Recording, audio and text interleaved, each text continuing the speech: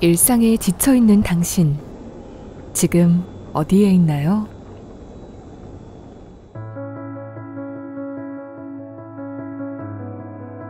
시리게 가슴팍을 파고들던 차가운 바람이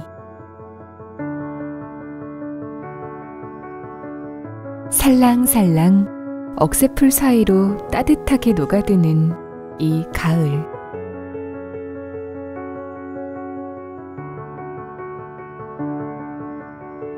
일상에 가득했던 시름을 풀어주는 대관령의 언덕과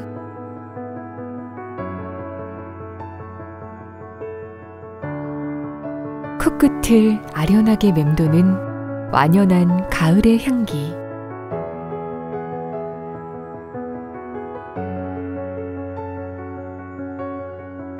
짧은 가을의 시간만큼 소중한 추억으로 남겨질 이 순간.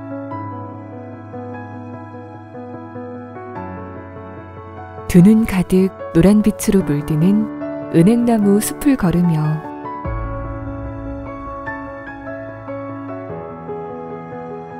우연히 읽은 한 줄의 글귀에서 잔잔한 위로를 받는다.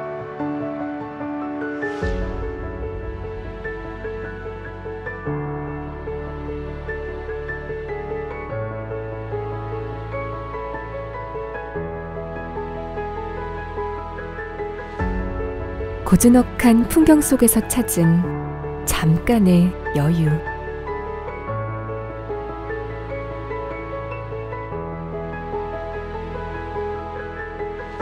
발갛게 물든 단풍잎처럼 상기된 연인의 미소가 있는 가을 강원도에선 지금 강원도에선